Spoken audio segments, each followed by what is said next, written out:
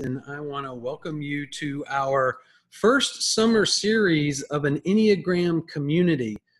We have found that the Enneagram courses and workshops that we've been doing for the last three months have been some of our most popular and well attended. And several people said, well, hey, why can't we just create a community that meets every Friday and talks about the Enneagram from all kind of different perspectives? And so that's what we're going to do um, today and every Friday um, from here to eternity. So, uh, welcome to the first day of the rest of your life uh, doing Enneagram together. Um, I do believe the Enneagram is a really powerful wisdom tool that's been given to us for self growth and cultivating healthy uh, individual and uh, and interpersonal relationships. And so, Interfaith Paths to Peace is really captivating on the power of the Enneagram to help us in our inner journey and also to help us on our interpersonal journey of creating healthy and peaceful relationships. So, welcome to the Enneagram community. Um, the rest of the month, next week, we're going to jump into looking at just the three triads. So, the Enneagram is made up of the head triad, the heart triad, and the instinct triad. And we're going to jump into doing a deep dive next week into the heart triad. And so I'm going to have specific people that I know identify with those numbers, which is number two, three, and four. And um, we're going to do a real deep dive into the heart triad. That's next week. And then we'll do the head triad. And then we'll end the last week in June with the uh, instinct triad or the gut triad. And um, and then we're going to start July with a, a, program called Enneagram and Money, which will be really an interesting way to frame how we relate to money based upon our Enneagram typology. So I uh, hope you'll put those down and look forward. Just put uh, Fridays at 3 o'clock down on your calendar every week. You can just do that. Um, when you put it in your calendar, you can say, yes, continue every week for the rest of eternity. So, um, anyway, thank you all for being here. Again, uh, I, I, what I like about the Enneagram or processing the Enneagram is for us to, uh, from the narrative tradition, which is Helen Palmer's tradition, is that we really learn best the, the Enneagram when we hear people speak about it or how they experience themselves rather than taking a test or just, you know, reading about them in a book. Let's hear each other tell stories about what it means to be a seven or an eight or whatever number you might be. So I'm going to encourage us to do that today. I'm also going to do something new today. Um, I'm going to focus in on what's called the um, the subtypes. Uh, I haven't done a whole lot of work in the past uh, with uh, this group anyway on subtypes, and so I'm going to jump in uh, today and look at subtypes. Um, and use subtypes and the number as a way of talking about social change. So there's two kind of lenses that I'm wearing. One is to look at how individual numbers may engage in social change. And then I'm also going to be using subtypes to, to look at those numbers. So you'll see as we get in what we're going to be doing there.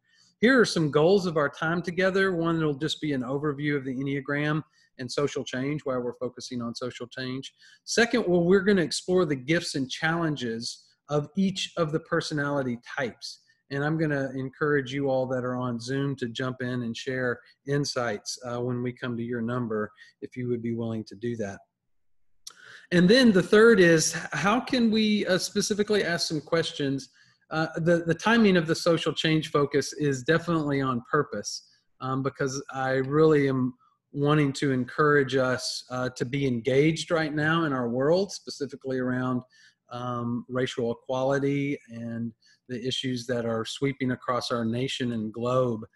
And um, this is the reason why um, I wanted to use the Enneagram because I think there are a lot of people that really want to engage the issues that are going on in our world today.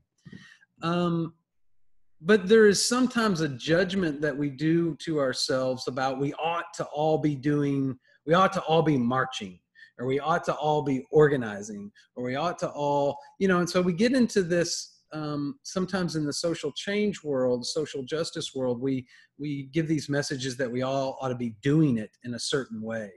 And um, my position on that is i think we all need to focus our natural gifts um, to the area in which we can make change, or not to the area in which we can change, but the way in which we can go about making change. Um, and, and really stay grounded in who we are in the way we make change and not get into this, oh, I wish I should have or I ought to. Because I think when we get into that kind of language and social change, we don't work out of our energy and we don't work out of our groundedness in who we are. And so the lens I'm really wanting us to wear is to, to stay close to the gifts uh, of all of these different types and just be you and focus you on creating a more equitable, uh, racial equitable uh, world. So, how do you um, take who you are and focus it right now, really intentionally, on the issue of um, creating more equitable and um, uh, a world where there's not racial bias and discrimination. So uh, that is really kind of what I'm hoping we'll focus on our uh, efforts today. So um, the Enneagram, the Enneagram, a real short introduction, is basically a way of looking at different nine different personality types. The idea behind the Enneagram is that these our number was formed in early childhood as we uh, tried to adapt and thrive in our early childhood environment. So because we all came from these um, different kind of childhood environments, um, we tried to cope, we tried to thrive as children, which shaped the things that we perceived and it shaped our behaviors. So, as children, we were trying to manage our early childhood environment and we started to become aware of certain things. Uh, and and we started behaving in certain ways. That created these patterns uh, in our brain. Um, so sometimes I like to think about an Enneagram brain so that your number really is this firing of certain neurons that that help you perceive certain things and then uh, become patterns of behavior and so what we're doing with enneagram work is we're trying to cultivate uh, what we call the witness. Um, what is the um, what is that part of us that can watch ourselves arise? And that's what we can learn and how we can learn to work with the uh, the enneagram. There's been a request in the chat room which i think is a great re- request. Why don't we um, is to introduce ourselves um, and uh, maybe share what number we are so as we get into this let's um, i'm going to take a pause in a moment before we get into the specifics and let's um, have a large group check-in. So those of you that are on, if you don't mind, um, well, oh my gosh, we've got a big group. Maybe it's too big to do a check-in. Wow, what a wonderful group of people. So I'm going to not do a check-in. I apologize. I'm going to go back to the screen because that could. Here's what you could do. If you check on your name, you can type in your Enneagram number so let's do it that way. So if you check on your box and go up to the three dots and look down, you can actually rename yourself. And so rename yourself, and I am an Enneagram 7 number. So let us all take a chance to do that, and we'll know where we're speaking from. If those of you that don't know how to do it, um, uh, don't worry about it. But um, yeah, there you go. That will give us some way of knowing who's what. Um, and then once we get into the conversation, you'll be able to uh, share more. So I hope that meets the need of the the um, the group to know what our numbers are. Thank you for that recommendation in the chat box. So here we go. Let's jump into again. I was as I was saying these. That's how the enneagram numbers, and so each of these types has some traits to them. And what I want to look at today is I want to use what's called subtypes so for each of the nine numbers, there are different personality traits and behaviors that go along with those types. Um, I'm not going to go into the full scope of the Enneagram, um, but uh, um, look at all the different dynamics. We're mainly going to stay with what are the types of the numbers. You can look at lines of integration and disintegration. You can look at levels of health but that's not what we're specifically interested in. We're interested in how these numbers engage in social change. I'm going to pull some work from, um, actually, that's not the slide I wanted. I'm going to pull some work from uh, looking at subtypes from this Enneagram and Archetypes book by Susan Rhodes. She takes different archetypes and looks at the different numbers, and we're going to come back to this slide in a moment. Um, and so we'll use this to go through the different types. What I uh, would like to do, though, is um, describe, she goes into what's called subtypes. And so I'm going to describe subtypes because so a subtype would nuance your number based upon these typologies. And um, those are these. There's three subtypes. Um, sometimes they call them instinctual subtypes. Um, so the first is what we call self-preservation. So those um, self-preservation are they're concerned with values of safety, provision, and comfort above all else. The need uh, focus is to survive through reserving, gaining, or uh, needing resources. So um, one way I like to uh, help people describe which of these they are. When you first walk into a room, what do you become aware of? So ask yourself that question. Self preserving types, when they first walk into a room, become aware of the temperature. They become aware of what's the most comfortable seating. They become aware of it, where's the good food. So they're aware of their physical surroundings and wanting to seek comfort and maybe safety. So um, think about that. Um, the sexual, or I like to call this, they often call this the one on one rather than the sexual. Um, here, the value is intensity of experience and chemistry. Where is their attraction? Where's the draw? And the need is focused on deep intimacy, uh, usually with one other people or a really small group above all else. So when they walk into a room, they're interested in where's the energy? You know where's the person in this room that they just uh, feel like has got the most energy? Or that they they may be actually attracted to for some reason not necessarily sexually but just like a, a chemistry. So they're really interested in where's the energy in the room and who's the person that they're going to go and sit next to because they think may have that energy and connection the third type is what called the social type and they value um, questions about where they are in the hierarchy of social relationships. Where do they fit in this group socially? Uh, and the need focus is to contribute to society and be known in a communal way. So um, they walk into the room and they're really concerned about where do I fit in the social hierarchy or what's my place in the community. So that's one of the things I want you to think about. Do you identify as a self preserving type, a one on one sexual type, or a social type? Um, is which one of these is your primary concern? And they are going to nuance your number. And I'll, I'll, show you in a moment, a minute, how they um, they do that. Are there any uh, questions at this point about subtypes? um, you can raise your hand or just jump in. I haven't done a lot of, um, at least with these calls, I haven't done a lot of subtype work. Does anybody have any additions to describing the subtypes that you would like to jump in and add? You're welcome to unmute yourself. If you were on uh, Facebook Live, uh, you're welcome to add that in the chat box if you have a question or a comment. Any of any questions or comments um, before we go ahead? Yeah, Fran. I've done a very little bit with the subtypes, but my main takeaway is that even though these are the broad descriptions applied to each type, they look really different.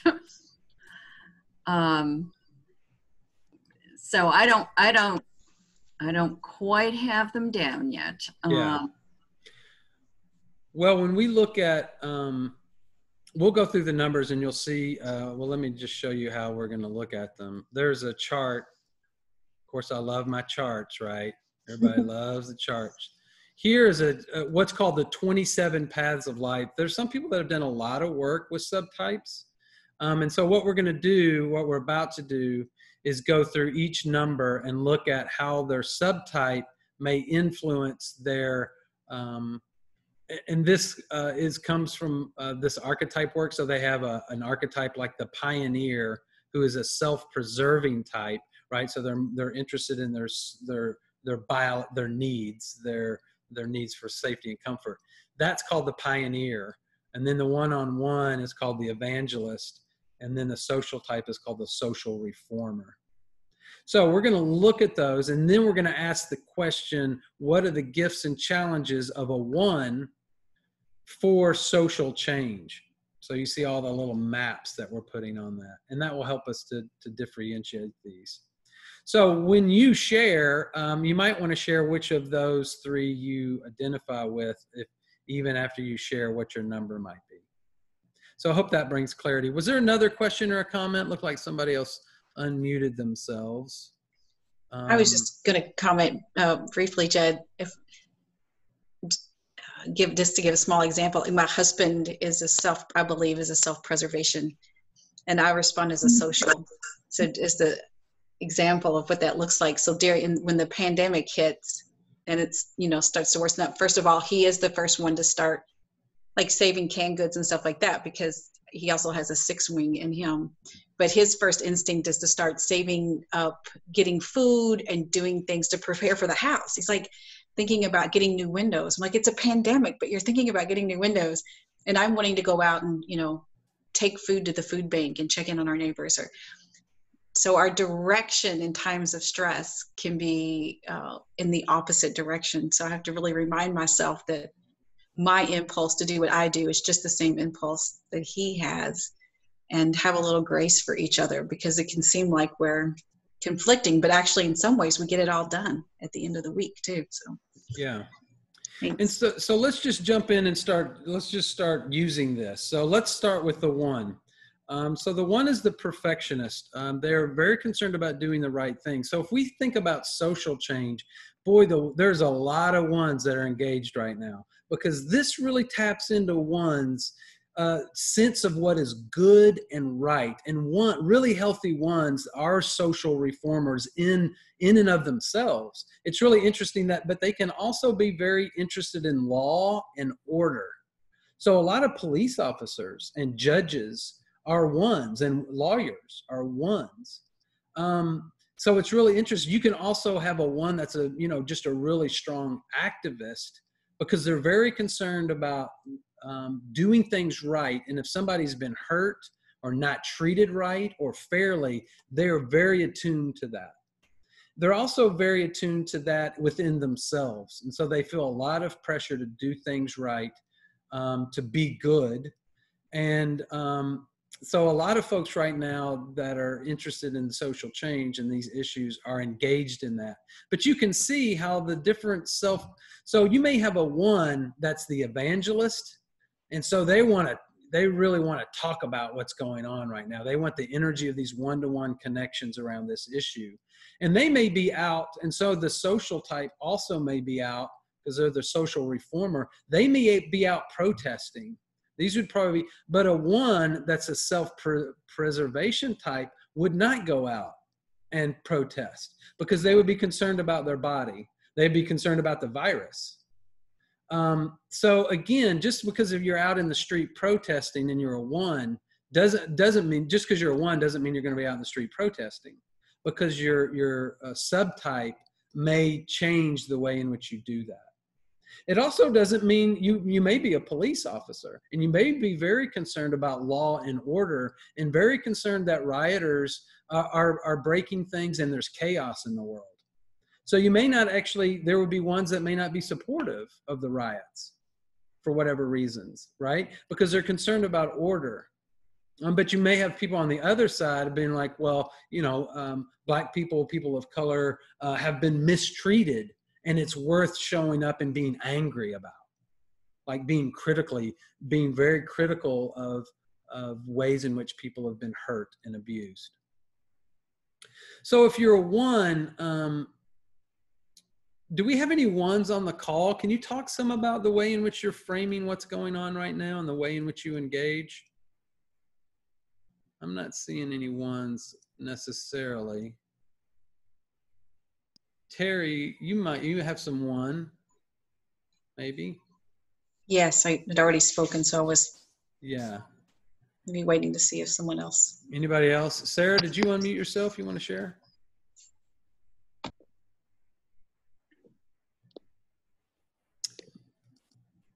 So I know a lot of ones, um, and and they do seem really engaged right now. Actually, I, I I've been really interested in the ones in my life um, that are very concerned about the mistreatment uh, of people of color, and um, they are responding in different ways, but they're very engaged right now. And I think they can provide really beautiful and profound articulation of how people have been abused.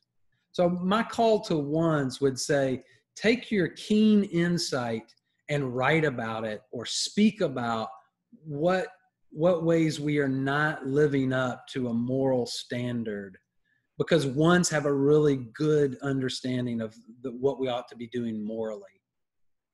So ones out there uh, use your your gift of of being right doing right um, and then focus that out into the world. So um, gandhi was a one right? So you want to talk about some social change folks that got it going on. Ones when they um, really feel morally um, driven to do what is right can make significant, really significant change. So does anybody want to comment on on ones there?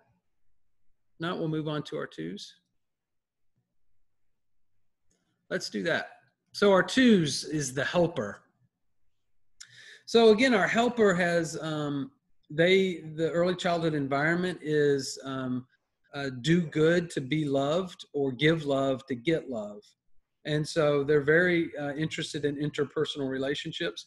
They're also the most highly attuned on the enneagram to emotions. They have really high uh, emotional intelligence. So um, and they really feel what's happening in society. The twos that I know as soon as um, a lot of twos with the uh, the COVID crisis started getting sick, and not necessarily with the virus, but they started embodying the sickness of our society.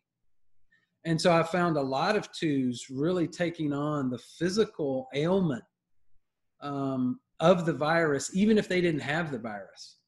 And I found that to be really interesting because they're so empathetic. They've learned to be empathetic. They're also, I think, very emotionally attuned to what's going on in our culture. So I think twos in their empathy have, um, have to guard themselves. Otherwise, they can just get washed away in the, the emotions that are happening in our culture right now. Um, but that's the real gift they bring to social change, the real nurturing um, I know a two um, that is is really involved in um, uh, the Black Lives Matter movement, and her commitment has been to care for the needs. She always has water, and she has hand sanitizer, and she has food for those who are protesting. Right, that's a great way a two can nurture the lives of those that are out there protesting right now and and they don't necessarily want to be out i mean they are out there but they're not um, they're out there caring for protesters and really practical needs that they're meeting. Um, and so uh, i think twos can do a really good job of that. And i think a lot of twos are framing their ability to care for people. Um, i know another two um, that said that she in the morning had been choosing uh, five to 10 people of color just to write an email to or a text message to, letting them know that they're cared for. Right? Because they can feel um, how people are experiencing this time. And the real practical way, they spend 20, 30 minutes in the morning just sending out personal notes um, and doing these little personal things that people really recognize. So, are there any twos on here that um, may want to speak to that? Looks like we have a couple. Um, anybody want to jump in there and talk about where you may be the nurturer, the lover, or the ambassador? Right? Those are kind of the subtype characteristics. Anybody want to jump in and talk about those?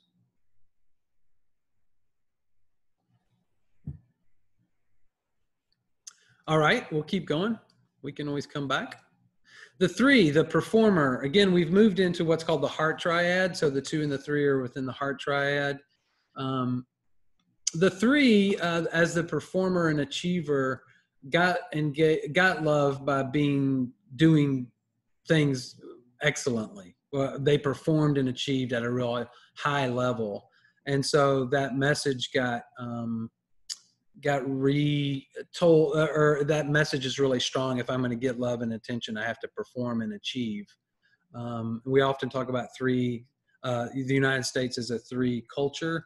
It can be um, very concerned about how I look and how I come across to people to be seen as doing things right.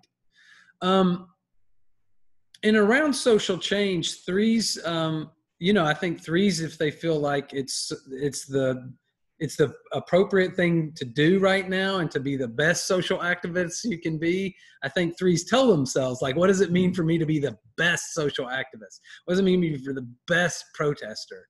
You know, so I think those are the messages that go on in threes, which, you know, eh, hey, that's okay. And that's, that's the, I think we always have this weird dynamic with threes. Like we want them to be healthy, but we also like that they're really out there kind of blowing it out, right? They're the they they really do good at a lot of stuff like that. Sometimes it may not come from the best place in themselves. And so I think that would be our challenge to threes, really be leaders. A lot of threes are organizational uh, company leaders. And it's really important for threes right now to have a voice in their companies and in their organizations to come out um, really strongly for what's going on right now. So threes, um, do that. Um, uh, take take leadership. Group threes are really great leaders, um, and um, threes be very aware of. And this may this may sound like a critique. I don't mean it as a critique as much of a challenge. And maybe this is for all of us. It's the uh, taking the selfie at the riot, right? You know, so uh, and I've got I want to make sure uh, I've got my mask on. You know, if all threes are going to be in a riot, they're they'll probably have their mask on because they're doing it right. I, I'm just making assumptions. You may be a three, and you may say, you know, I don't do that. But the caricature is that you know they're going to take the picture with their Black Lives Matter sign um, and their uh, their mask on at the at the rally. And I'm not saying that's not authentic. I'm just um, the challenge for threes um, so when this is not a hype, still engage this issue, right? Because threes will have a tendency to find what's the next issue that's popular, uh, and they'll get on that bandwagon. Uh, so this is where a three, and it's healthy, goes to a six, right? As a loyalist. So threes, get on board here, and then move to your loyalists and stay on board here. That's what we want to say to threes. Um, don't go. Uh, yeah, this is this is maybe the issue of our time, or at least for the next five years. Let's all commit to to making a difference on this issue. And threes, we want you to stay in there with us because there are going to be other issues that pop up, maybe even next week. Right? That's the fear, is that there's going to be something else that takes our attention, and we're not going to do the work we need to do here. So you also are hearing my commentary. So I hope you all give me a little grace on all that. So, are there any threes want to talk about the ways in which you engage and do social change? We don't actually have, it doesn't look like a whole lot of threes on here. Anybody want to speak to that? The threes are out there having fun. So they're not on the Zoom call. yeah, they're probably out, out and doing it, getting engaged in it. All right, let's go to the fours. Um, fours is the tragic romantic. Um, um, fours have a sense that um, they like to be different and they like the darker emotions. Uh, they also have a very high emotional intelligence, but they go in with that. So twos go out fours go in with their emotional intelligence. So they like the deeper, darker emotions. I think this can be a real challenging time for fours because they do pick up on the the real hard emotions that are happening. They can get lost in that in a way that becomes depression. But a four that goes to a one is a real like that's Bono. Bono is a four that went to a one in a healthy space, and he took those emotions and he directed them towards social change. And so fours can be really powerhouses in social change, but they need to um, uh, not get lost in the darker emotions. But they are also the artists. And this is where I really want to ask fours to show up, right? So, fours, I do believe that our artists, musicians will lead the way in social change because what artists do is they they discern the collective unconscious that emerges in them and then they can express it in their art and then the rest of us can see it. So they can paint a world they can make music about a world that we all want to live in. Uh, music fueled the movement of the 60s you know jazz music soul music became the expression of the pain of the people and then you know all the great 60s and 70s songs that we still sing right? I mean you you go to a, a march and we're still singing those songs that came out of that tradition. Um, and uh, you know out of the deep uh, out of the the slavery tradition those deep soul songs that expressed their hopes and their pain. So fours take all of that emotion that we know you're aware of and then express it in some way that we can all see it and we can all get behind it and it motivates us and it gives us a vision of the world we want to live in. So I, am all excited about fours right now because I think you guys are leaders of social change. Um, and thanks for being you. And um, yeah, help us help us see a world that's different and paint it, um, write about it, um, express it for us so that that we you can motivate us for change. So there's some fours on here. Hey. Hey, who who is Amber? this is Amber. Hey. Woo, woo. I mean, if we're gonna talk about a four, and here she shows up, it's like the State Farm man. We just said fours, and Amber just poof, just came oh, out of yeah. nowhere. I know I finally got to catch one. I've been interested in Enneagram for a, a while, but yes, yeah. I am a four with a wing five, and so I've been feeling just as you said, just this uh, romanticism about it. And so um, as as crazy as it's all been, um, I've just really been focused on my art and really just trying to express myself through my art um, and even through the creativity of, of my business as well. And um, and um, I also activate myself through um, a, a, healthy one um, when I can uh, express these artistic endeavors and um, you know project them to social change. So it's kind of like my protest right now uh, yes. creativity and um, just yeah i have a, just a deep deep emotional um, connection to not only a, a collective but um, individual people as well. So yeah. it yeah it goes into my amber amber can i put you on the spot? Do you happen to have one of your paintings around uh, I can grab one. Go grab one. Okay. Um, and I'll do it. We'll look at the the subtypes for a second until you get back. Um, right. But the creative, uh, the the subtypes are the creative individualist, the dramatic person, and that's the sexual type. Uh, um, and then the critical commentator is the social type. So you're uh, the four in the um, self-preservation is called the creative individualist.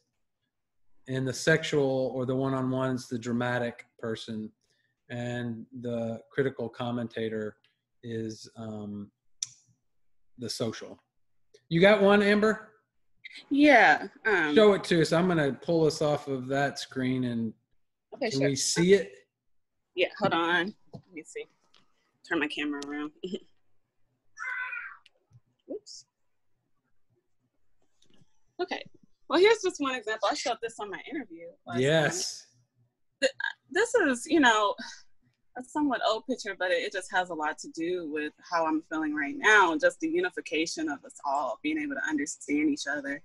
And so, um, of course, this is old, but this is just something that I've always um, I felt within my heart. So this is just an example of expression of my emotional um, connection to uh, mass consciousness and oops, sorry, um, and everything. So yeah.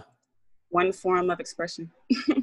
That's beautiful. What a beautiful, what a great example of right fours channeling that energy in a way that in that picture says a lot right there. Um, the power of the feminine, the power of blackness, the, the blueness, the integration of, of you as a person and all those pieces. So thank you. What a great example.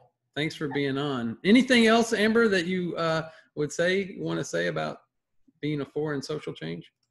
Um, also, just want to mention the fact that I am a, a four wing five.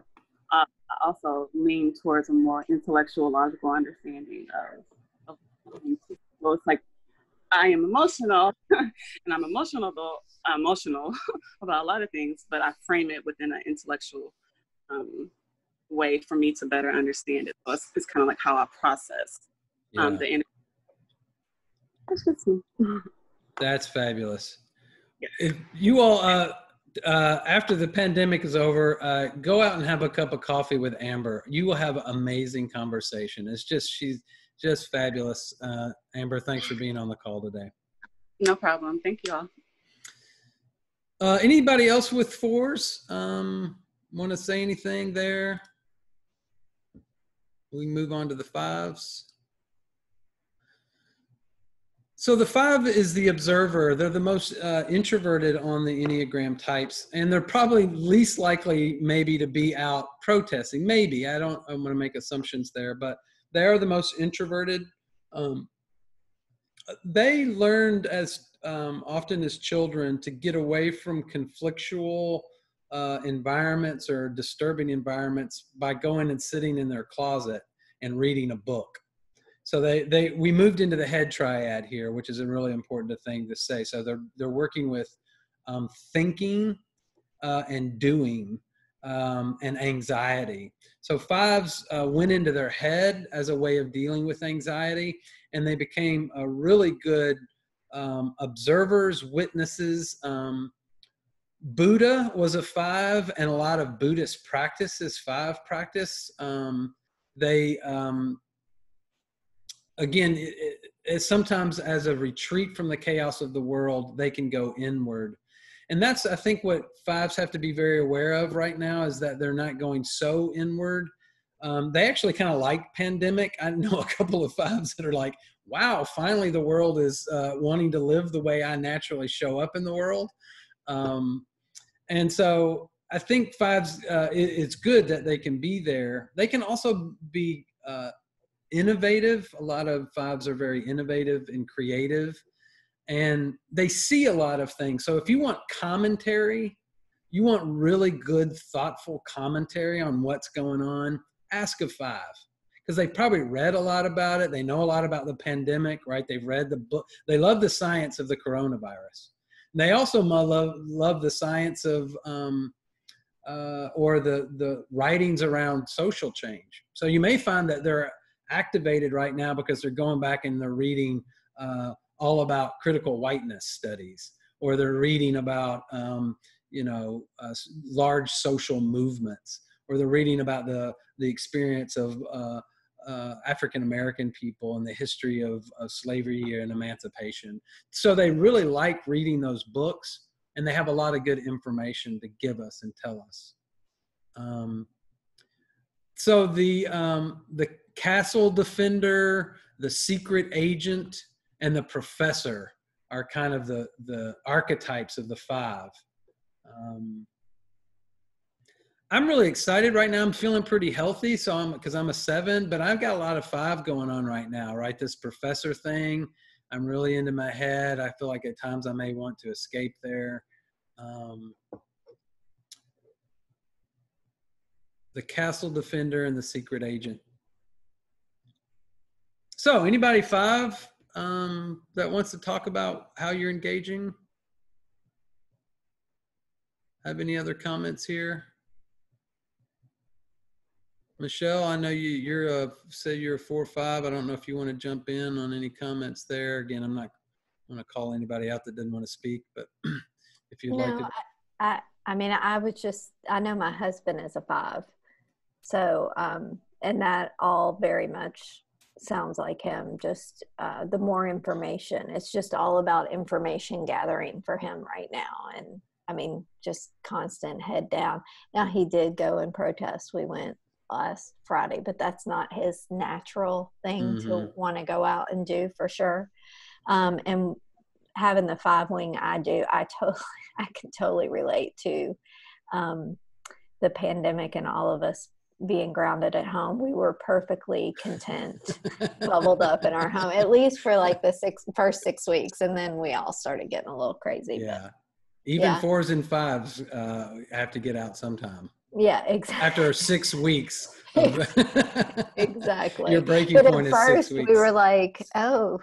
Wow, this is like our everyday. Like, how lame are we? The rest of the world is going crazy, and we're like, "What's the big deal?" oh, I love, I love you fives and fours. That's beautiful. Yeah. Well, My thanks. This is Melanie. My house sounds a lot like Michelle's. I'm I think I'm a four wing five and my husband's a five and I've seen some I thought he was like five wing four, but I've definitely seen some some towards the the six, but the castle defender uh describes Mm. us and we've gotten a new little play nickname of safety police of wanting everything to be in order but he definitely knows all the news every day can tell me everything so it's Yeah. amazing and again, I think uh, uh, giving permission for people to be engaged in this issue and not have to be out protesting is is what we really need to. Um, because I think for introverts that is not maybe a natural way for them to do that, but they can still use their beautiful gifts of observation or creativity uh, to be able to articulate, you know, social policy or to be able uh, or to articulate really good arguments um, that can also fuel movements. Um, and so I think they have a really unique and important role, as we all do. And I will like to circle back to that. I know I'm the um, whatever the dramatic one is. the I'm four. definitely that. So I can really get like caught up in like going deep, deep, you know, and um it's probably good. I don't always see it that way at the time, but it's probably good that he's a counterbalance because he's so flippantly just, you know, logical about it and like um and I just, you know, get Yeah. all caught up in the emotion of it. Yeah. So That's really good. You know, this four or five combination, it's really interesting that both of you are possible four or five combinations. That is one of those Enneagram pieces that's really interesting to me because um, four, fives think their emotions, they're not very expressive with them, but fours can be, you know, deeply, even though they're in, they go in with their emotions. That relationship sounds is really interesting to me, and I can imagine there's a, you may call it balance of one another or you may call it polarizing one another uh, Yeah. matters kind of how that plays out it's Um, probably a little of both. yeah but it, i think I do. I I can learning the enneagram has helped so much for that and that understanding. And someone was talking about the grace earlier because I could not understand why he didn't want that intensity or to go that deep, deep. And he's so up in his head. It's just not. That's just not the way he processes or moves through the world. So. Um, what do you I think he would say about you uh, that you're Um, overly emotional Yeah, probably so. Yeah, irrational Probably so. Oh, Yeah, that I'm more reactive. Yeah, for sure. yeah hmm well you all make a good powerhouse couple though right i mean if you can Yeah, i- if we can be in a healthy place, for sure, and we've Yeah. gotten better with age, obviously, and understanding, and a lot of therapy.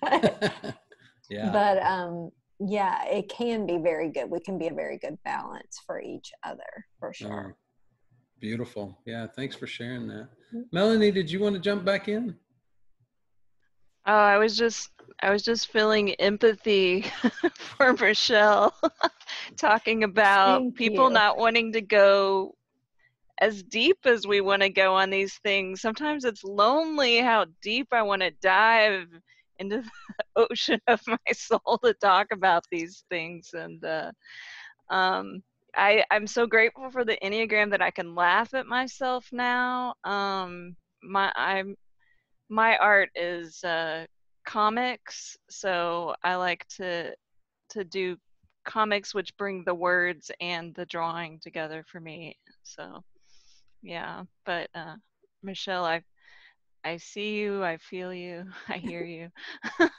Thank my sister you. four. Yeah.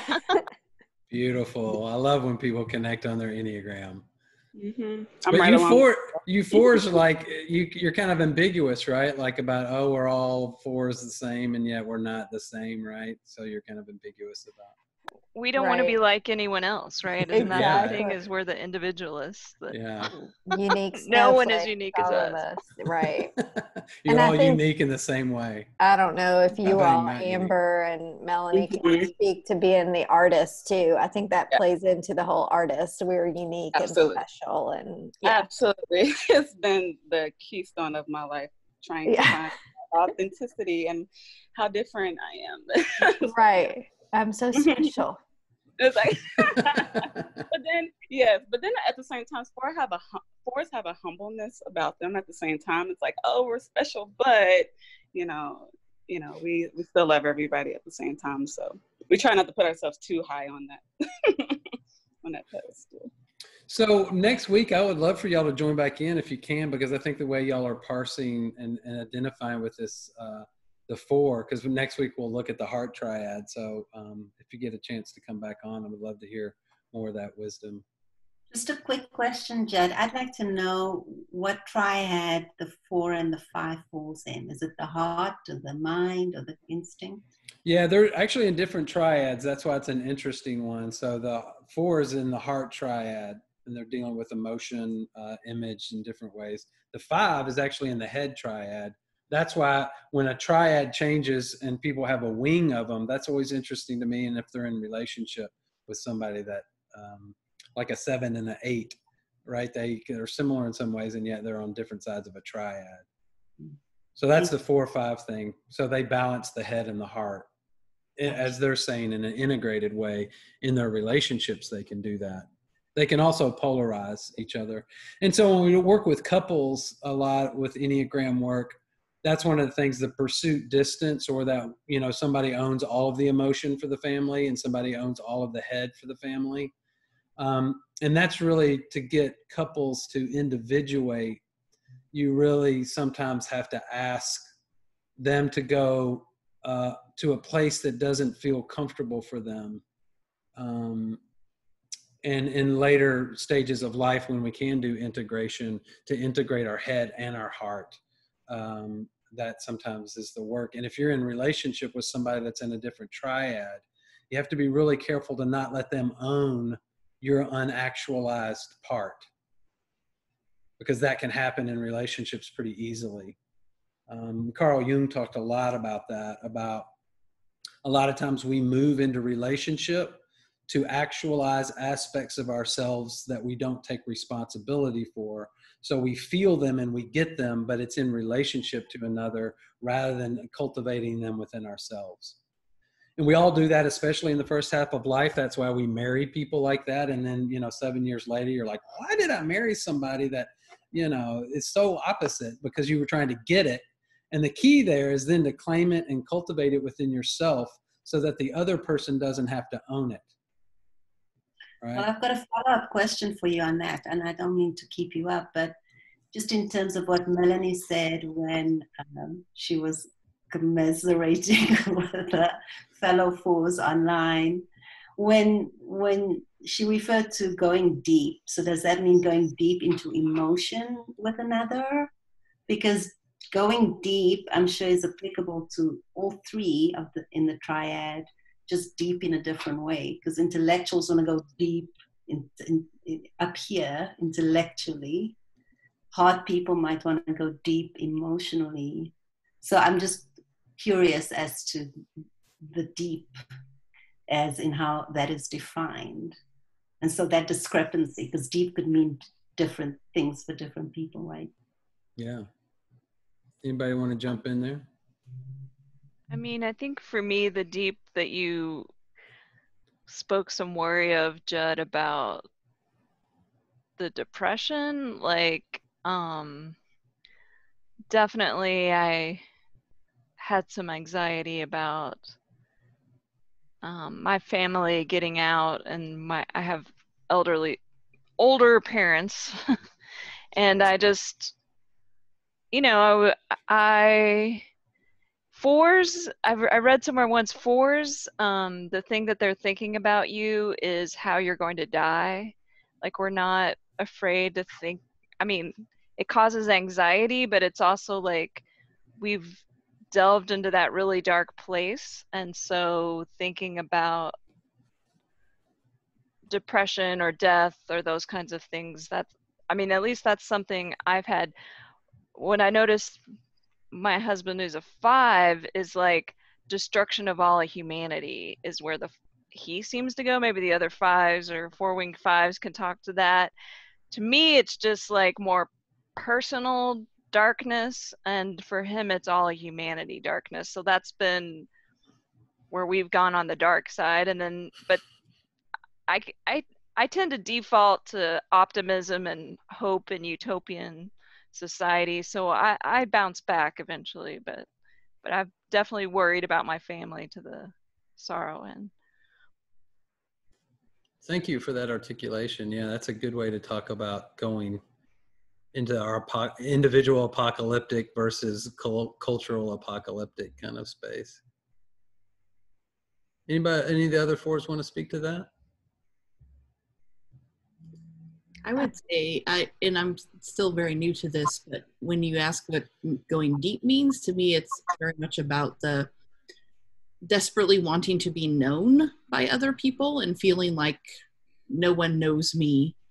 Um, and so when I think about what does it mean to have a deep conversation with someone or or dive deep into something, it's about me being known and being seen for who I am.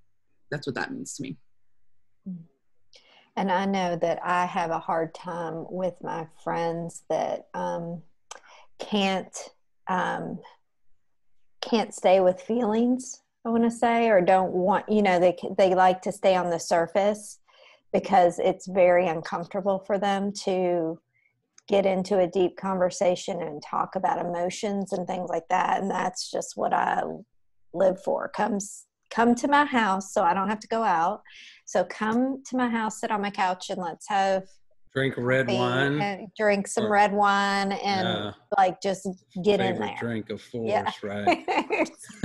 and maybe it'll be raining. exactly, absolutely. That's my favorite day.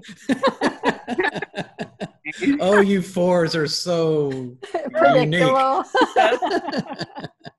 I love it. That's why sevens love fours because you guys are just an experience. I mean, sevens don't want to talk about their emotions, but we love to watch other people have them because it's it's so entertaining. Like you all just go so dark, and it's yeah. For sevens, I love it.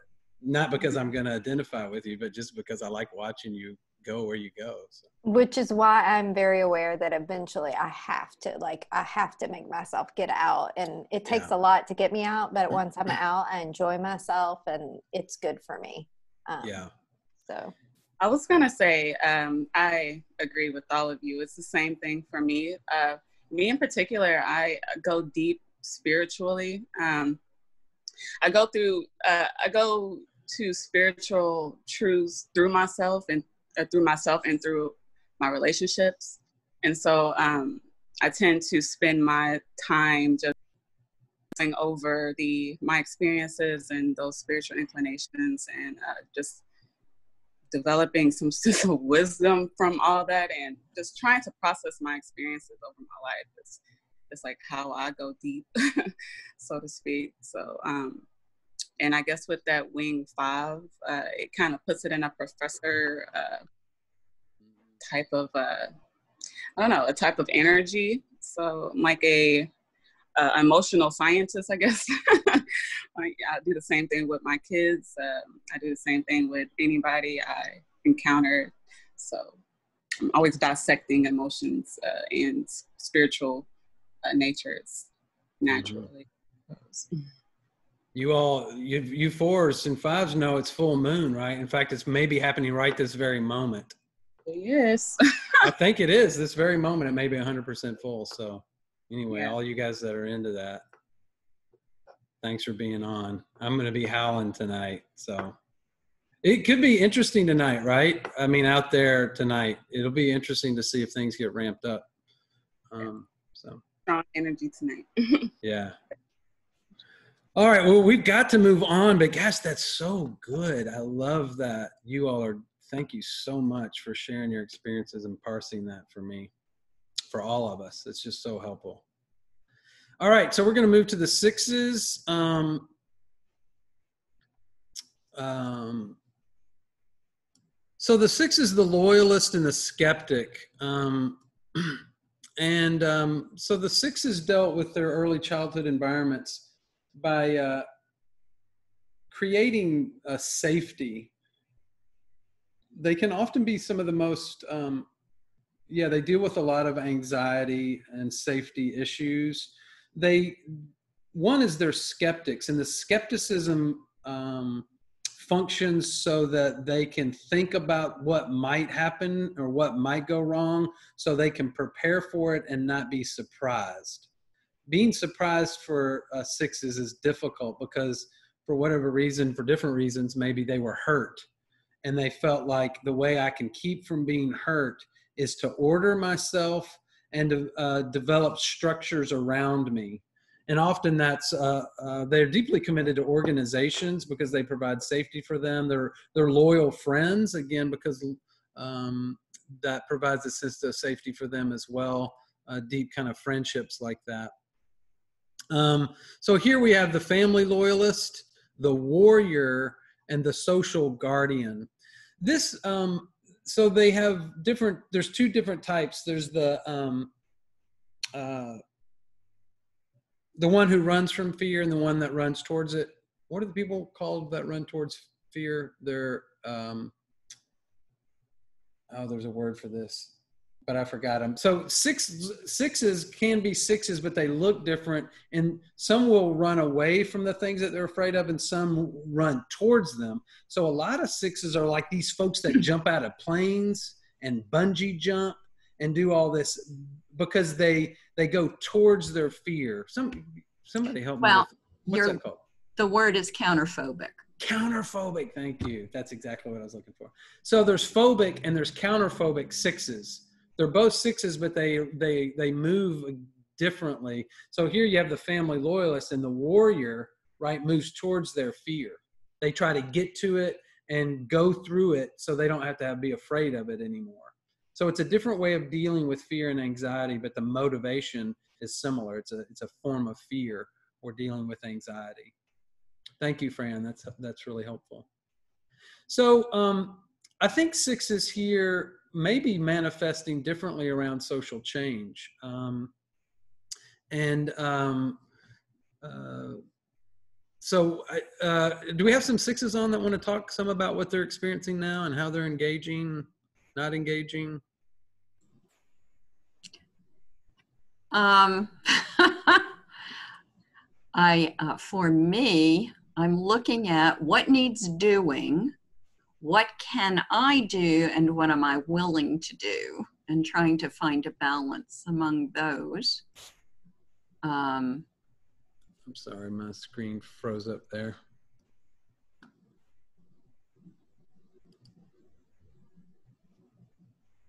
Trying to get my uh, screen back.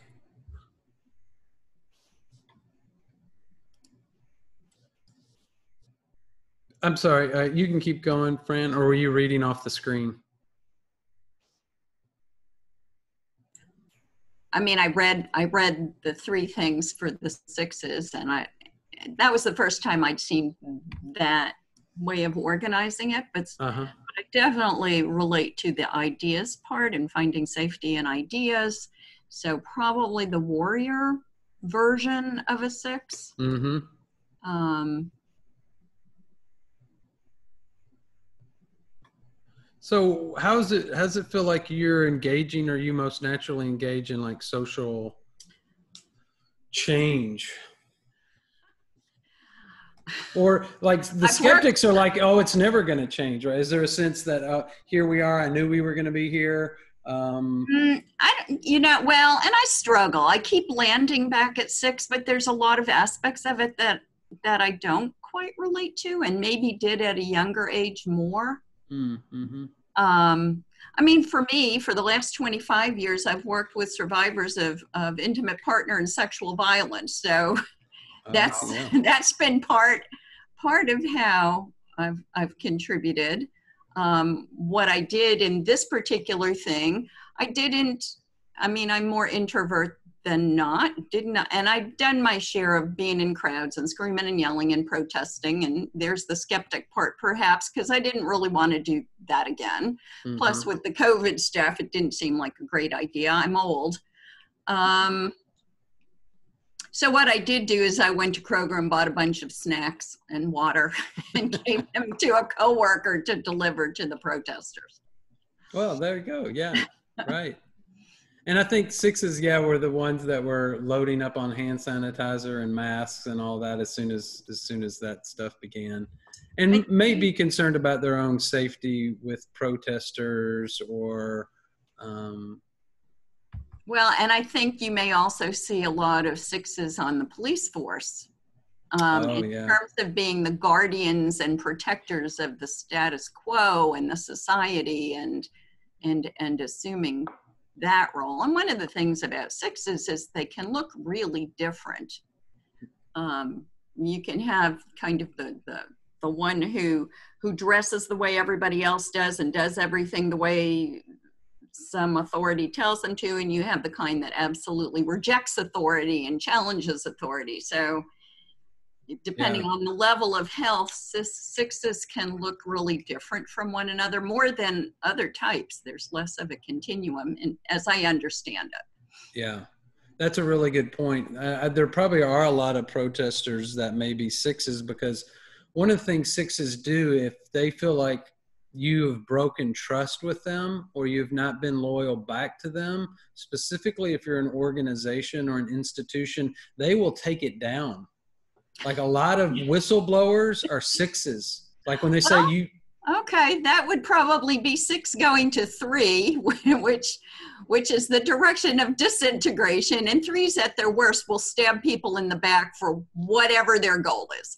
Yeah, right. It is. That is a six going to a three. Because a six at nine, and I think you were talking about you're kind of manifesting maybe more nine behaviors where you're a little more relaxed, less reactive, uh, can be a peacemaker, see different perspectives, have dealt with some of the anxiety, and can uh, uh, have a rational, more rational response maybe.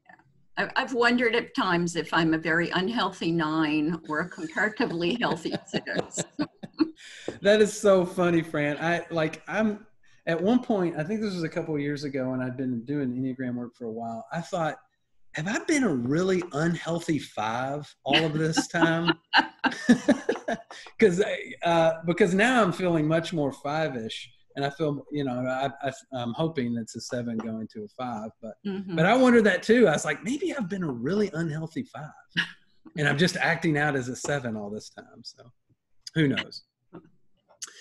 Well, thanks. That's that's helpful, Fran. So um, we got a, a, a few more minutes. Let me get through these. Um, thank you all, by the way. This is just so helpful and personally interesting to me.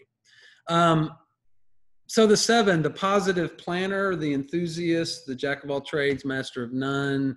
Um, so the sevens report that they dealt with uh, kind of early childhood anxiety of being trapped in negative situations.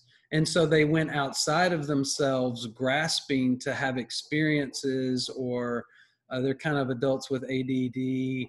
Um, they they called gluttons for experience, um, and it's a way of escaping their own inner life that may be painful, or it may be actually a way of escaping a situation that may be painful.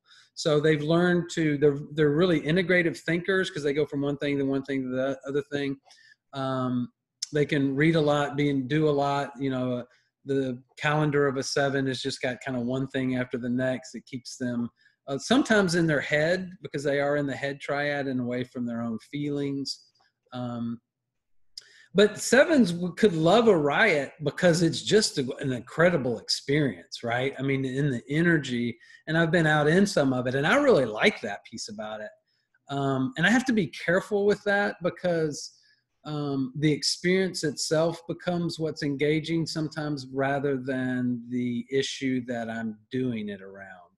So I'm a I love a protest and I love this energy of a crowd I love concerts because there's this energy in it. And I can tend to be a sexual and a social. I am a social visionary, but I'm also the adventurer. I took off um, last week on a wanderlust trip uh, because I'd been, I felt like I owed it to myself because I'd been quarantined for a month and a half. And so I went, I didn't know where I was going to go. I just got in my car and my bike and for a week i just didn't i just did whatever i wanted to do. I had no schedule no plan. Um, so i'm definitely the adventurer the social visionary. I think we can be really inspiring leaders. You know i think we have a lot of energy and enthusiasm to inspire people. We have to really work with sticking in there um, and and staying with something i think we we add a lot to that social movements at, at a healthy place and sevens that um, are have a wing of an eight, which is kind of the challenger, we really do have like if I'm going to say anything, I have a vision in my head and in my body and in my heart for a Louisville where where everyone can thrive. Like I actually feel like I can see it in my head. Um, and I feel like all this work that I'm doing right now with IPP is the social visionary um, I just have to be really con- uh, diligent to stay with it rather than just creating thing after thing after thing. And the nice thing about you know these webinars is I just go from webinar to webinar to webinar. Um, some some ways of dealing with my anxieties, but so anyway, that's sevens. Are there any other sevens on here that want to um, share? Yeah, I am.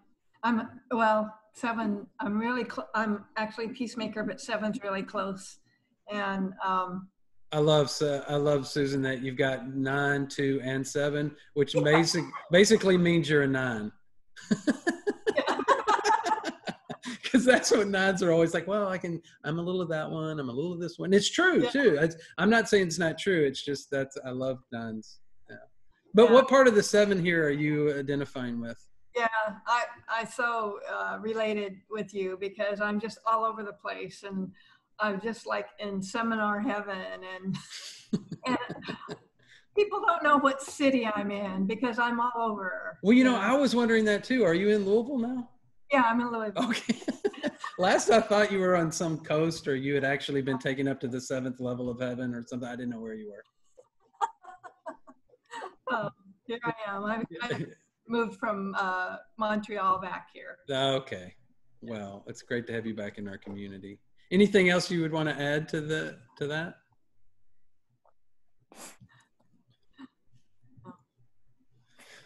All right. Well, let's look at the eight and the nine, and then we'll. Oh, did somebody else want to jump in? Yeah, yeah. I was gonna say um, I just took a quiz while you were talking earlier. Oh, so I, yeah. It was seven, and when you were talking about new experiences and, and can't focus, gosh, that's me. Um, and I want to do new things. Yeah. Um, you know, I remember like I was determined I was going to go to the Woodstock reunion back in 1994, and uh, I had I had a overprotective mother and toxic too, but that's a whole nother topic. Um, and by gosh, you know, I put a notice in the paper. And I was looking for people because I was dating at the time, worked at UPS, and he could get off work. But by God, I was going to go. And I, and I rented the van. And I got the money from the other fellas, and I went there with three men I didn't know. And I had such a blast, and it was so much fun. And yeah. Oh my. Yeah. So um, I kind of thought I might the music. What was that for? The four, yeah. Sometimes But sevens and fours I'm- can test similar. Oh, okay. Yeah. Yeah. Um, Well, yeah. fabulous. Well, welcome to the seven crowd. We're going to be doing the head triad in two weeks. Um, so come back and uh, talk about your sevenness. Yeah. Thanks, Myra. Good to have you on. Thanks for sharing. Hey. All right, the eight, the protector. Um, so right, eights could be really uh, engaged right now. Um, so eights again are uh, the bosses, commanders in chief. They go out. They're in. They were so we're moving back in. We're moving into the instinct triad, um, the gut triad, and dealing with anger.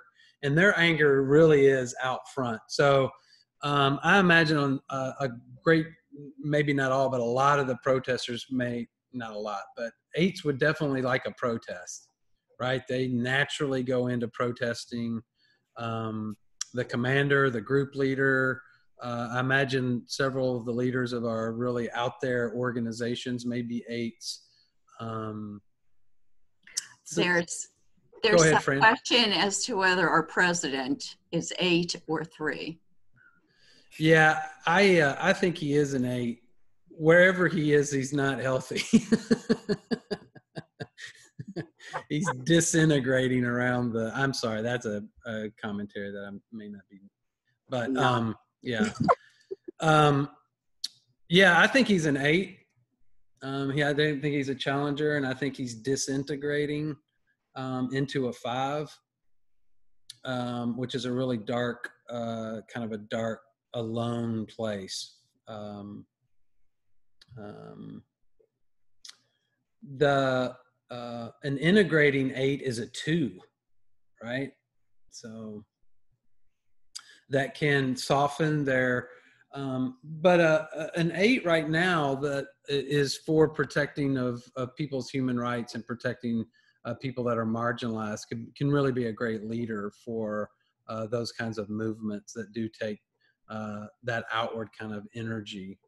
Um, fives right now, if a five goes to an eight, they can make really good leaders as well. Um, they see really well what's going on. They they have to move into their extroversion though for a five to integrate at an eight, but they can also be really good leaders. Um, have a lot of clarity about what needs to happen. Um, anybody want to jump in with eights? My experience is eights. I have the least amount of eights on Enneagram calls. They don't It's have just- time for this. Yeah, they probably, I don't know what they think about it. I do have a couple that I'll have on the panel that I've used in the past. Um, they don't like being on it, but you know, I, I can rope them into to doing it. Um, so anyway, yeah, What eight's is- right. Go what is ahead. In uh, where it says um, the group leader part, where it creates blind spots about personal needs, like they don't personal needs their own needs that they don't they have blind spots about. I mean, I don't get it. Well, I think the sense in an organization, um, they may not create an organizational culture that tends to individual needs. If that, yeah, that whatever they're creating, um, yeah, may may be blind to individuals' kind of personal needs. Oh, okay. Thank you. So let's end with the mediator, um, the nine. Um, so the nine can be the collector, the seeker, or the community benefactor. So nines are peacemakers. So again, conflict was one of the reasons they lost their voice. Um, and healthy nines move to a three can be really great leaders as well because they can see a lot of perspectives. They embody a lot of perspectives.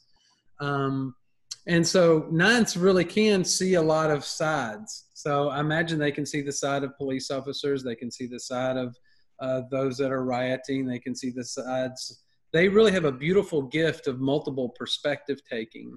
And they can offer that, I think, in these times of crisis really well. I think they, um, uh, you know, at Interfaith Paths of Peace, our whole board ought to be nines because all those, they see really well perspectives. The challenge is if they lose sight of their own energy, if they lose their own voice in listening to the voices of others. That is the challenge for a nine. And they can move into apathy and sloth. And so this is where they have to be really careful that listening to all the voices, they don't lose a sense of where they are with it and lose that in anger that moves to right action. So um, nines can be great peacemakers, help us see perspectives. Where they could be challenging is if they don't ever move to action because they've lost a, a connection with their gut, their anger that moves them to right action. Um, so there you see the different uh, in the different types based upon um, subtypes. I really quickly want to go to um, um, a couple of slides that I used a lot for organizations. For those that are doing social movement work, um, there are a couple of slides here that um, I use quite a bit. Um, for people wanting to engage in organizations and movements, a lot of times they have different needs that they have in these. Um, so this is uh, questions that Enneagram numbers will ask to engage in an organization or a movement.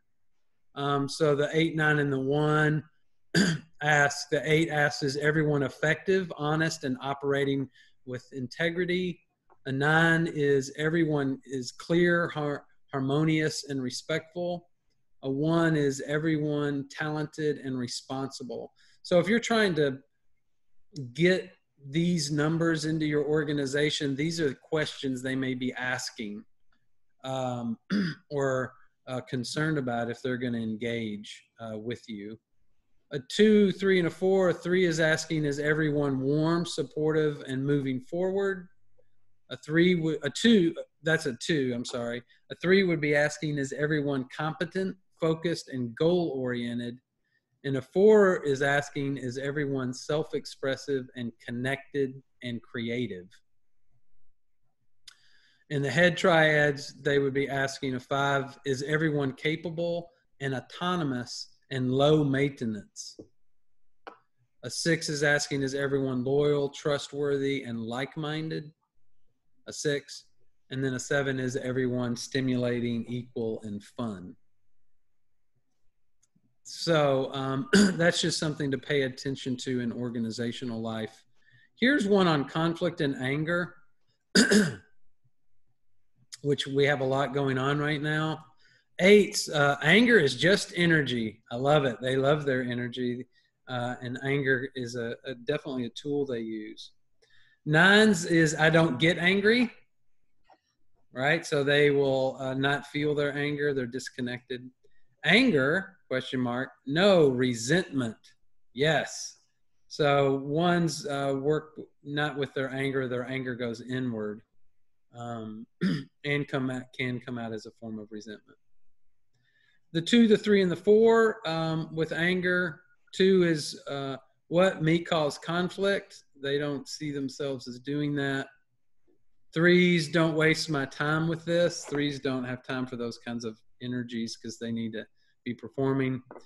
Fours is why did you do this to me? Kind of the victim around the four mentality. Fives, no problem, just detach with anger. And sixes, I didn't mean to cause any problems, kind of some guilt there. And eights, uh, sevens, uh, I'm out of here. We're going to get in our car and with our bike and just leave.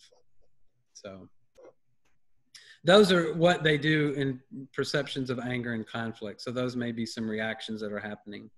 So we've got uh, uh, eight minutes left. What I'd like to do is just kind of open it up to final comments, reflections. the way I like uh, to do comment uh, uh, end is just kind of a checkout. Um, we've got quite a few people on the call, so we won't have time for what's been insightful. So you got 15, 20 seconds. What's been meaningful, exciteful? What have, what have you learned? Um, what's been helpful? So let's just kind of harvest what's been interesting to folks. Anybody's welcome to, un- Actually, let's just go through the crowd and you can either respond or not respond. And I'm just going to go through the screen the way I see it. So um, I'm going to go Ida, Fran, and then Janine. Um, could you all do a checkout? Ida, could you start us? Um, I was wondering, very insightful, so that I did get some takeaways in terms of the subgroups. I had a question with regards to is it, are those three subgroups something that one could move through phases in life? So, for instance, I'm a nine, and for a very long time, I see myself in that seeker description. But I find now with the change of and the shift in my environment with the pandemic and everything going on, that I'm slowly but very surely and definitively moving into the benefactor area. So is that a thing that naturally happens or does that get is it prompted from an outside? Yeah, I, think the way that often they talk about in the Enneagram that subtypes are kind of these predispositions to certain categories that may not necessarily change. Although, um, so the, what you may be talking about is moving to integration, or you may be talking about healthier manifestations of your number, which would change the way in which you're understanding and feeling yourself. But I kind of think the subtypes are these kind of overall tendencies that may not necessarily change, although they may soften. Right. I don't know if that, yeah. Thank you. Yes. And yes, thank you. This was very enlightening. Great. Fran, can you check out? Sure. Um, I've, I've missed having a group to talk Enneagram with. I love Enneagram and I love learning about it. Um, my main takeaway today was I wrote down Peter O'Hanrahan EnneagramWork.com, which was what I guess that subtype chart came from. So I'll Hmm. probably look that up. Great. So, so thanks for doing this. I mean, I'm I'm very happy to be back thinking Enneagram. Great. Yeah, and we'll look forward to having you in the in the community of practice if that works for you. Janine, welcome. You want to check out? Yeah, um, this is all fairly new to me. Um, so I had just taken a test, two different tests before I before this before we started. So um, so yeah, I'm still trying to plug myself in, but Mm, enjoyed this tremendously. I could see myself. good. Well, it's good to have you here. Thanks. Thanks. Judy, would you like to check out? And then uh, Luann? And you can check out if you want. If you don't want, you that's okay too. I'm gonna unmute you there. I think you're muted.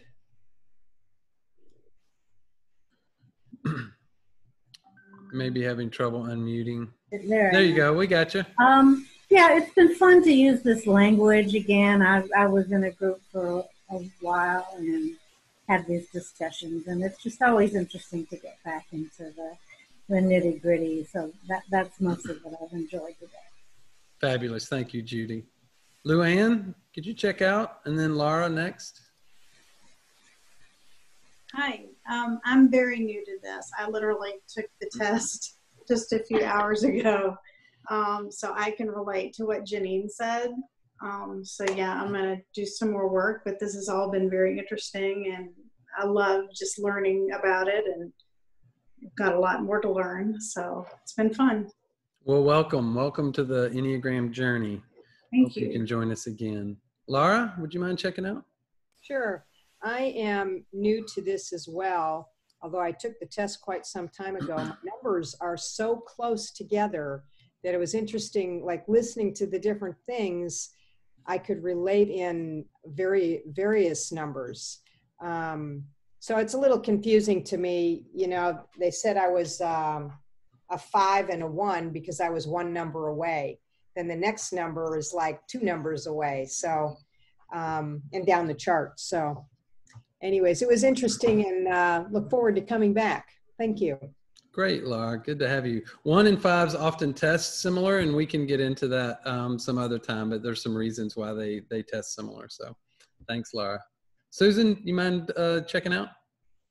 I love that that we understand each other and ourselves a little deeper.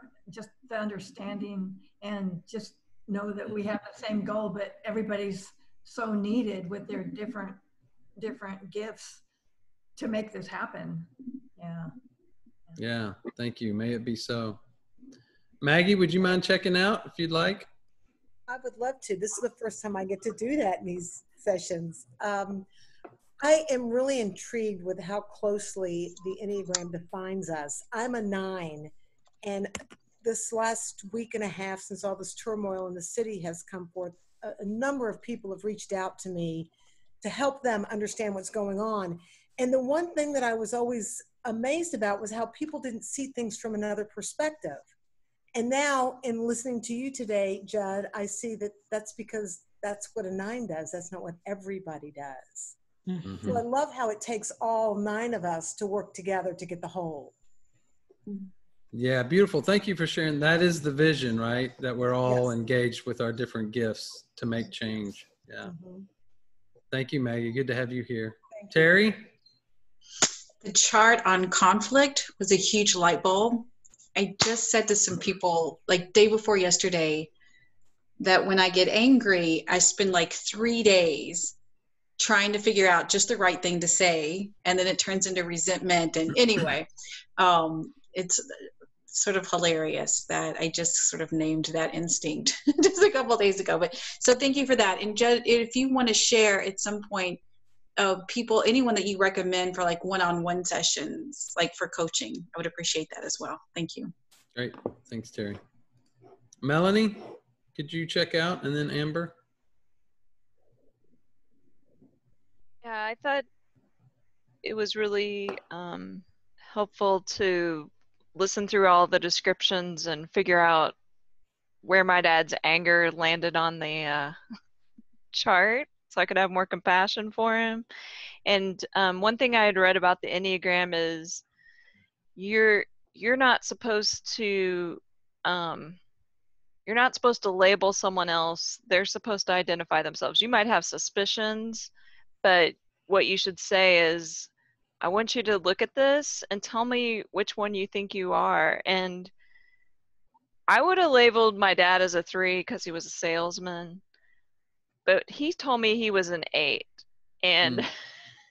and that became evident at the beginning of the pandemic when we had a tangle over whether or not he should go out to the hardware store as a 79 year old man mm. yeah well good thank that's a great uh, application of the enneagram so yeah helps us be more compassionate you know and then mm laughing at yourself, like especially fours for being so emotional. It's a wonderful, powerful tool. I'm so grateful for it. So grateful to hear all the other crazy fours out there too. Great. We'll look forward to hearing more from our crazy fours next week if you're on. So. Amber, you mind checking out?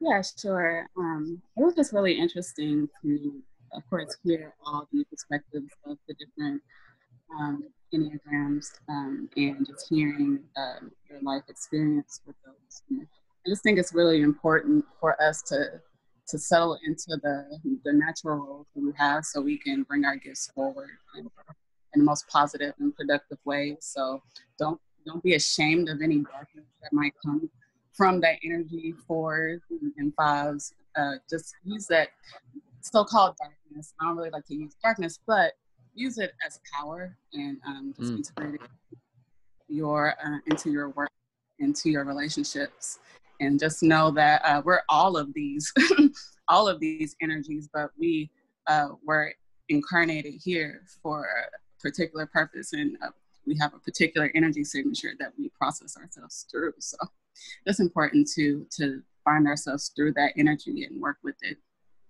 So beautiful. Thank you. And the folks that uh, um, got, there's somebody here, maybe a seven. Your name's not up. Would you like to check out? Name. Okay, hi. I'm yeah. Pat. I didn't realize I was leaving my name when I replaced that. Um, this opened up my awareness of all kinds of possibilities for using the Enneagram. To really understand it, I need to do some base work and foundation first. Well, it's good to have you here, and hope you'll come back and uh, we'll do some more of that work together. Thank you. Michelle, could you, would you want to check out? Sure. Um, I appreciate the the validation. Um, I appreciated uh, meeting some other fours and and um, uh, hearing and being validated by them. And I would say, Amber, you know that I said you didn't like using the word darkness, and I would say it's more of a depth, or you know, use mm. that word. You know, the gift is the depth. It's not really dark, or doesn't have to be. Um, but and I really appreciated you, Judd, the encouragement to um, think about how we can use our creative sides um, to make a change. So I'm going to think about that some more. So I appreciate that. Beautiful. Thanks for being on the call. Sarah, you have the last word. You want to check out? My goodness, the last word. Um, Well, I am so new to this, so new, in fact, that I'm like, what test? That's how new I am. Um, but uh, um, I do very much appreciate um, some validation also.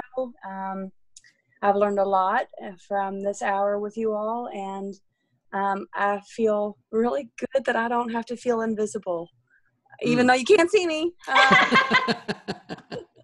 Um, but thank you very much. Yeah, Sarah, thank you. Appreciate you being on.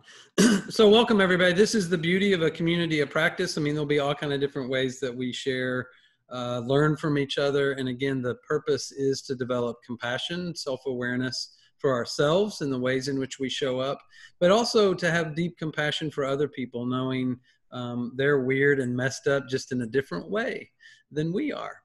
so actually not messed up. We're all, uh, Amber said it much more beautiful. We all have an energy signal uh, that's different and that we are called to be that signal in the world for a greater, what they call the cosmic dance. That's what I love about the Hindu or the um, Vedic tradition is that they understand this all in a cosmic dance, and we ha- all have to play our unique role. That's why um, we're here. We can't play somebody else's role. We can't be another Enneagram number.